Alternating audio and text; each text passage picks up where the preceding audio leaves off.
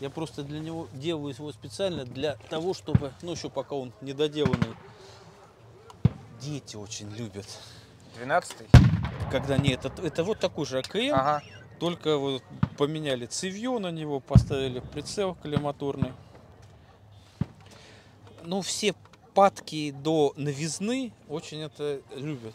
Точечка, видите, как здесь. Угу, угу. Ну это типа просто модно. Это модно, да.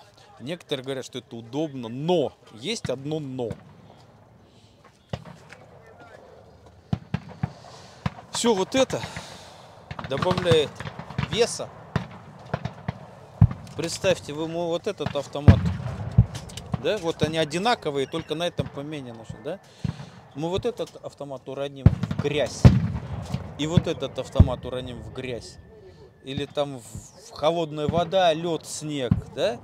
Вот здесь вот все забьется сразу же, а здесь гораздо меньше. В результате в одну и ту же лужу мы в грязную уронили, вот автомат со всеми вот этими наворотами сразу у нас на порядок больше весить становится, нежели автомат без этих всех наворотов. Опять же, планка прицельная, открытая, да? Она универсальная. Ей можно прекрасно целиться как в лесу, так и в поле. Так и на скидку стрелять, да? Любая оптика, она сужает взгляд твой, да? То есть, может быть, для конкретной задачи она точнее, кучнее будет, да, но общевойсковые задачи и всякие разные боевые задачи, они подразумевают и бой в городе, и бой в лесу, и в песке, и в зданиях, и в ограниченном пространстве. Чем меньше все у тебя выступает, чем меньше весит, тем и лучше. По надежности, опять же.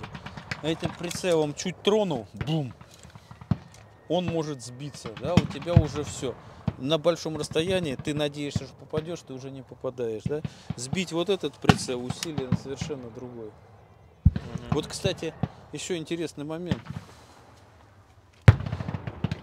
Мосинка с оптическим прицелом. Прицел стоит, да, точно так же, как и у всех с навесным оборудованием. Прицел может сбиться, да, но установка прицела позволяла использовать планку. Угу. Представьте, у вас разбился прицел, да, но вы все равно можете целиться, используя прицельную планку и мушку. Угу. Так же все работает, да? Так же все работает, да. Да. А вот на вот таких вот уже, да, вот вариант, к примеру, да, здесь вместо прицельной планки стоит коллиматорный прицел. Угу. То есть мы его сейчас разбили, да, ударили, еще что-то там, батарейка села там. У нас нет прицельной планки. Угу. Автомат только для вот так вот, для стрельбы в упор. А здесь ты всегда дублируешься. Угу. Поэтому новизна это, конечно, хорошо, но Калашников был очень мудрый человек и делал универсальное оружие. Именно для обычного солдата неподготовленного. Да, там спецназу, который супер-пупер на себе все делает. Для конкретных выполнений задач это может быть и лучше, да, коллиматор, оп- оптика, там одно, второе, третье, сошечки, да, но неподготовленную, в том, вот как сейчас, да, мобилизованный человек, мобилизованному товарищу лучше Такое 7,62 весло надо давать. на 39.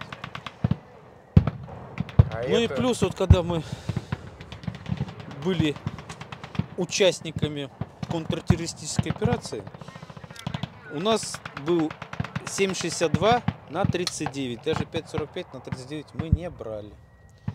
Потому что, да, боеприпасов меньше, но патрон, пуля пробивает, пуля в лесу хорошо работает. А мелкий калибр в лесу, даже в высокой траве начинает гулять. Мгм. Поэтому у нас была возможность выбрать любое себе, но мы брали 7,62 7,62 брали. на 39. Мгм. Только у нас Ну, а сейчас, я так понимаю, опять мы возвращаемся, да, вот к большому калибру идет тенденция к увеличению. Ну, по идее. Ой, сейчас мы возвращаемся к тому, что у нас начинают конструировать оружие люди, которые не имеют профильного образования. но которые умеют очень хорошо м, Продавать, маркетологи. Да, да, да. Локтями пропихивать, у кого уже родители там заняли прекрасные должности, и они уже по праву рождения становятся гениальными. Поэтому у нас и получается, что вместо того, что, чтобы что-то новое придумать, да, у нас придумывают вот это все, обвесы, все это мы сюда вот, а вот поставим сюда фельдеперстовую мушку, и он автомат станет лучше стрелять. Никогда такого не будет. Всегда нужно сначала подготовить стрелка бойца, а потом уже будет стрелять автомат. А человек, который умеет стрелять, он будет стрелять с любого и на одинаковом уровне. Хоть И по только- хоть Хоть ППШ, хоть чего. равно вообще. Самое главное подготовка. А подготовленный солдат, он и голым будет воевать. Мгм. Из любого оружия. И еще, кстати, один большой плюс. Вот почему автоматы были и никак ничего не делали. Да, у нас сейчас делают автомат на левшу, автомат на правшу, там автомат там на безруких, безногих, да? В бою с автоматом можешь учить что угодно. Осколком ты его подбила, да, у тебя лежит убитый товарищ. Ты его автомат взял и пошел, тебе не надо его к нему привыкать, подстраиваться.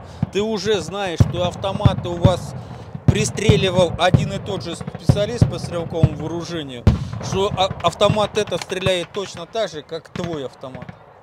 Что он сделан на правшу, что он никаких вот у него запиндросов, кривых стволов, ничего. Тут все пристрелено, безобразно, но единообразно. Поменял в бою секунды, и ты уже пристрелялся к новому автомату. Если, если у тебя вот такой вот, то тебе к нему уже будет реально привыкать. Это примерно то же самое, когда вы всю жизнь ездили на механике и сели на автомат, да? Ну Легче так-то перестроиться. круче, так-то Так-то круче, круче, да. но А вот с автомата сесть на механику вдвойне круче и поехать потом нормально, никуда не въехать. понятно. Ну вот, Класс. собственно. А вы, вы офицер? Да,